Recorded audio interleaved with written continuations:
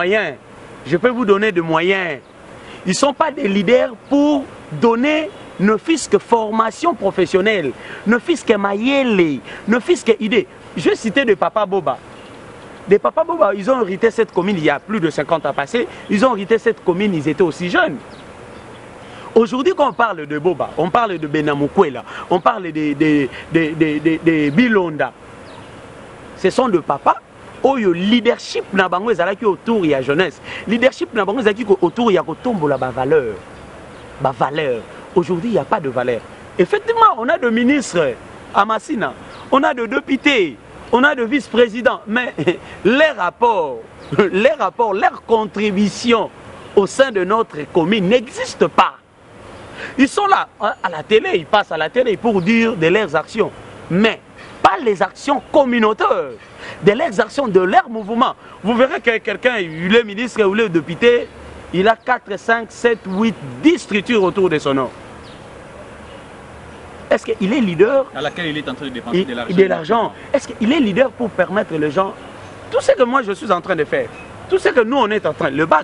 notre association, dernièrement je le dis, base d'action commune des associations, nous ne sommes pas là pour les individus, Christian Moukaba, non toza apport on a fait des activités avec des artistes maintenant c'est l'entrepreneuriat de jeunes de jeunes est-ce que bah, jeunes? est-ce que y a est-ce qu'il y a la possibilité tu n'as pas l'argent de gagner la vie est-ce que sans argent tu peux faire quelque chose est-ce que sans argent vous pouvez faire quelque chose moi je dis oui moi je n'ai pas l'argent j'ai la tête je veux pas l'argent tout ce que je donne à la commune de Massina tout ce que BAC fait à la commune de Massina, c'est pas parce qu'on a l'argent, on n'en a pas l'argent. Mais tous un souci à patriotisme Y'a a papa Boba, ya ba papa bilonda toza na souci ya ba papa bena mukwela apport na bango apport na bango omoni moi je suis du kwango hein? je suis du kwango je me rappelle euh, ya ba papa mafuta kizola volonté na bango hein? alingaki kozala leader ye moko te alingaki kolingaka alobi si moi je ne suis pas là il présenta à mobutu quelqu'un je ne cite pas le, le nom ici, il présenta à Mobutu, quelqu'un dit à Mobutu, heureuse mémoire à président Mobutu, que si moi je ne suis pas là, tala moto nga na memeli yo. Un bon leader eza moto oyo asalaka publicité na ye te. Mais eza moto oyo aza na ba fruits. Un bon maître, c'est celui qui a des élèves. Un bon maître eza moto aza na bana classe. Yo oza leader ya yo moko. Oza leader pour na intérêt na yo moko. Là je vous le dis, euh, je le félicite hein.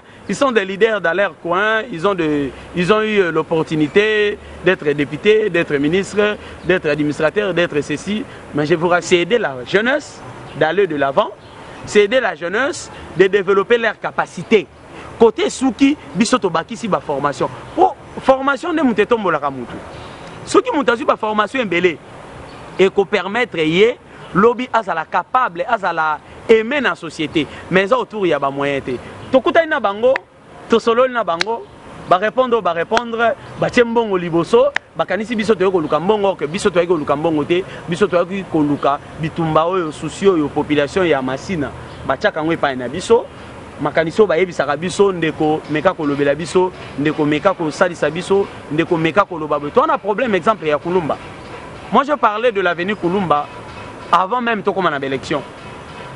Nabandi kosenga minda, je demande à vous les instituteurs de Masina. Boyebisa ministre ya travaux publics provincial azwa ba disposition acha minda minda ya boulevard Kulumba oyo mandat passé mandat ya bandeko baitoka bandeko mayamba bandeko bilingi ainsi de suite manda na bango eleki mwa boulevard oyo batika oyo basengaka na ndeko kimbuta esili baminda esuki na veni bikotikala tozosenga na bino baminda econtinue de bikotikala ti na pelende autrement dit bekatef ti na route wana donc tozosenga na bino baminda wana eya en plus deuxième chose mpo na veni kulumba eza likambo ya badodane Tosengi na bakonzi ndenge bameka kosala ba dodane na route Petro Congo, bameka kosala ba dodane na avenue Kulumba mpo ba taux ya ba accidents ezala reduite. Je vous le dis chaque jour ba accidents ekosalama makasi. Okay. Tozali kokende molo molo vers la fin. Likambo osouleve likambo etali courant, likambo etali SNEL. Il n'y a pas longtemps, bakinois bamonaki ba images par ci par là ya ba maman bawuti kozikisa bilamba biloko na bango kuna na terrain euh, ya na marché na marché oyo tobengi ya pascal mwa liloba ezali mpo na bamama wana ezali vraiment na kosala appel euh, na honorable euh, vice-président de l'assemblée provinciale francis tubalabala na excellence euh, mvunzi jean goyi na excellence euh, flavien na excellence wata na excellence didier mazenga na badepute provincial na badepute national nyonso oyo baza baeli ya masina oyo baza bana masina oyo bavandaka masina ata balongwa na kosenga na bango batala likambo ya bamama wana mpo ezali kosala mpasi bamama ebele babungisi biloko na bango mpona Courant ezalaka te na masina courant eza te courant eza te moto akoloba eza te donc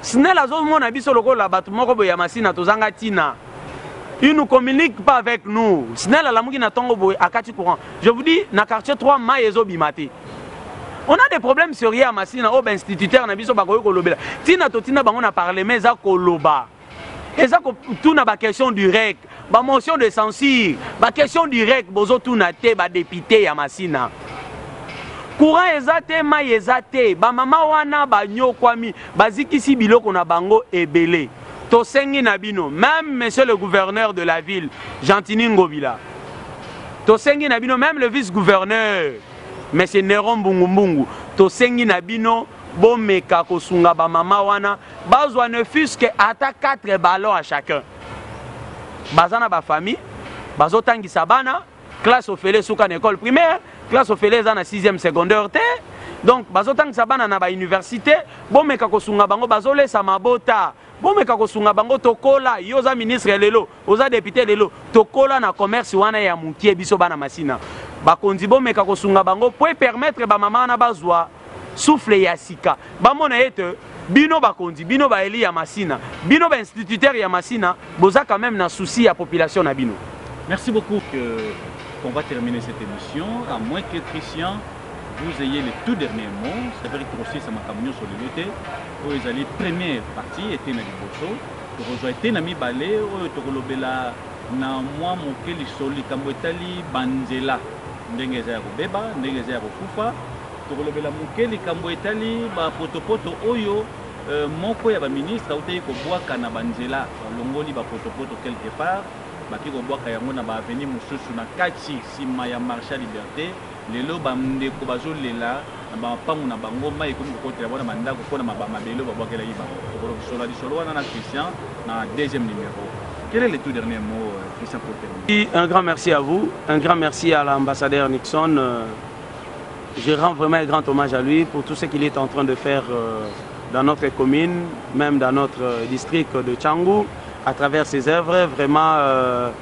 Je suis dispo, je suis très dispo. J'ai dit aux autres leaders de soutenir euh, massivement notre frère ambassadeur Nixon Mbonda Changu eza fierté ya biso bana Changu. Mbonda Changu eza l'œuvre de Masina. Mbonda Changu eza Eloko oyo epesaka biso esengo. Mbonda tshangu eza eloko oyo etombolaka ba valeurs culturelles, ba valeurs scientifiques, ba valeurs morales, ba valeurs nionso tout ya malamu ya commune ya Masina, ya Tshangu mobimba. Mbonda tshangu eza eloko oyo soki Ambassadeur Nixon azalaki na Gombe, elingaki kozala mbonda ya Congo. Mbonda tshangu eza image ya Republique Democratique du Congo. Eloko na sengaka toujours na bana Masina na bana Kinshasa na bana Tshangu Mbonda Tshangu to soutenir yango. Je dis un grand merci à vous. Je dis un grand merci à la population de Masina. Merci na 21 quartier nionso to ya Masina na befort nionso to bozo sala pona ko pesa biso ba information na mambo nionso to bozo yebisa biso ezali intérêt na biso te. Nous sommes là uniquement pour vous. Euh, Nzamba tindaki biso tosala musala pona bino po tolobela bino pona ba intérêt politique te.